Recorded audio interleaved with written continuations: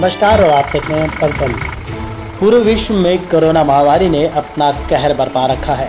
शासन और प्रशासन आम जन को इस बीमारी से बचाने के लिए अपने भरसक प्रयास कर रहा है।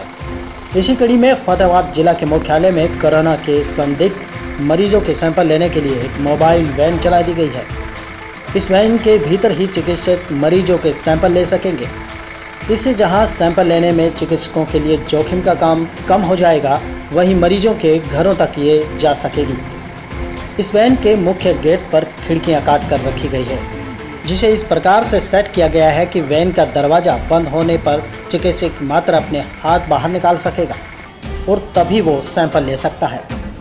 इस वैन के आने के बाद एक और जहाँ पूरे ज़िले में सैंपल लेना आसान हो गया है, वहीं ज़िले भर के भीतर लोगों को अलग अलग इलाकों और गाँव में मरीजों के सैंपल लेने भी आसान हो गए हैं।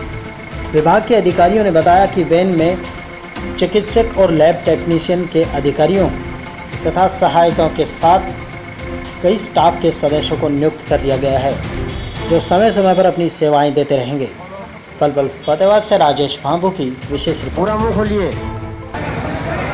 ये जो मोबाइल सैम्पलिंग वैन है कोविड 19 के लिए, ये दूसरे जहाँ भी बाहरी जहाँ भी हम सैम्पलिंग करवाना चाहते हैं, मोबाइल वैन है।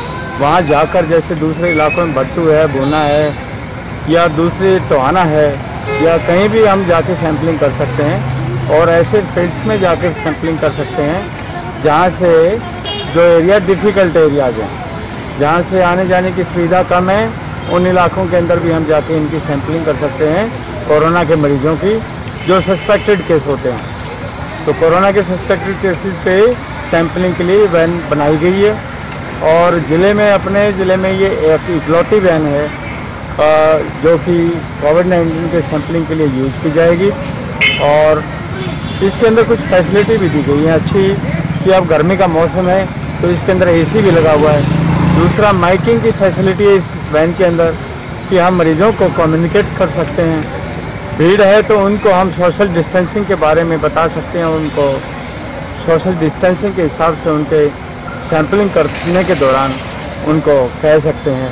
और जो भी हम कहना चाहें पब्लिक को इस माइकिंग के तहत हम कह सकते हैं। तो सर इसमें वैन में कितने बंदों की टीम रहेगी साथ में?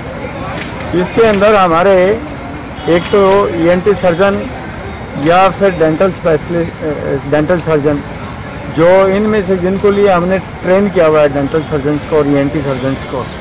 वो सैम्पलिंग करेंगे साथ में हमारा एलटी होगा और एक क्लास फोर भी होगा और ये तीन से चार बंदों की टीम है हमारी। तो ज़िले में ये पहली ही बहन है सर? ज़िले में ये पहली बहन। हाँ। ठीक थैंक यू